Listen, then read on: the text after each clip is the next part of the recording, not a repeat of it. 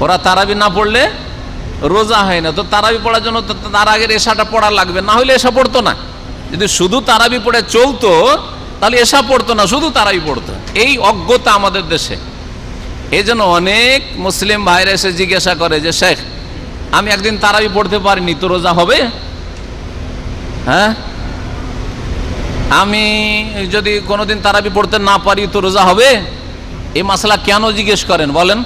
তার মানে মগজে এই রকম কিছু আগাছা ঢুকে আছে যে যার তারাবি পড়া হয়নি, তার রোজা হয় না রোজা ফরজ, তার আগে তারাবি ফরজ, ঠিক না?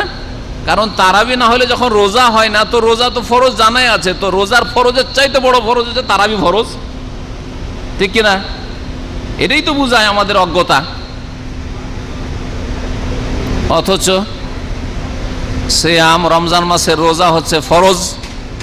যা অস্বীকার করলে মুসলিম থাকে না, আর অবহেলা করে পালন না করলে কঠিন শাস্তি রয়েছে আজাব রয়েছে, দুনিয়া আখেরাত আল্লাহ পাকের বড় কাবিরা গুনাহ করল।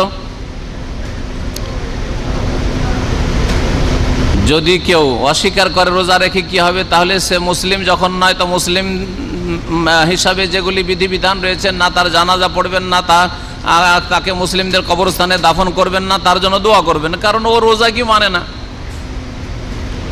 রোজা ফরজ। আর তারাবি হচ্ছে নবী করিম সাল্লাহ সাল্লামের সুন্নাত।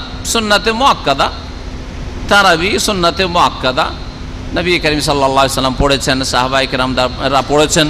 সুতরাং আপনি তারাই পড়বেন। কিন্তু কোনোদিন কাজ বসতে, ডিউটির কারণে বা শরীর খারাপ, আপনি পুরো তারাই পড়তে পারলেন না বা মোটেই পারলেন না, শুধু ফরজ নামাজ পড়লে আপনি মুসলিম থাকবেন।